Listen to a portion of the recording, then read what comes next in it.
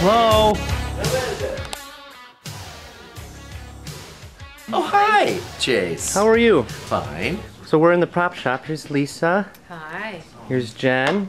Hello. Hi. In this production of Day in Hollywood Night in Ukraine, Harpo has to eat things. So we're trying to fabricate a flower that looks like the flowers that are in the vase, arranged in the vase, get danced with, takes one of the flowers and eats it. Yes. Yeah.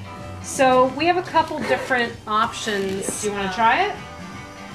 Sure. What is this made of? Can I ask you what what have you made this of? That particular one is made of fondant.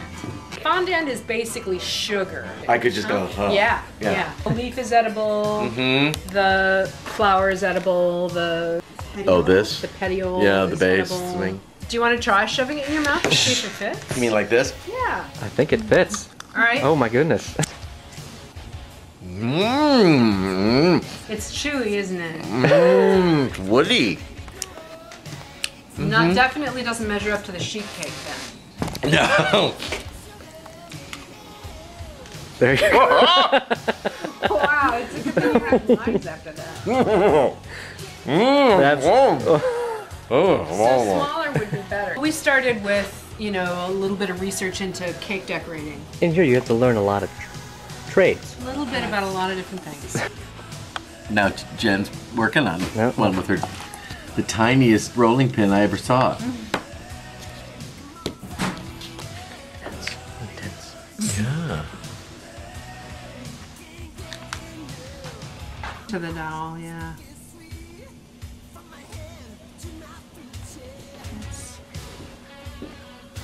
One.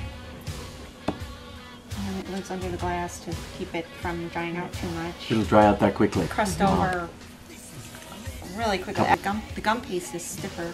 By the time I was done with it, it was so dry that it just crumbled. Gum paste, which is what he's trying now.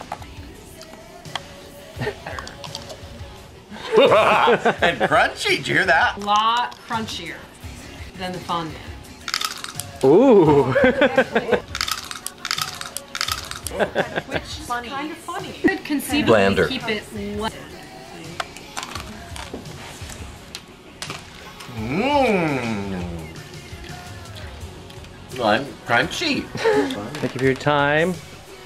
And a little behind scenes look at how we make props, edible props for Ray. Yum. Yum. Any words of wisdom, Ray? Floss after every show. Thank you. Thank you, Thanks, Lisa. Chase. Jen. Yay. Bye. Bye.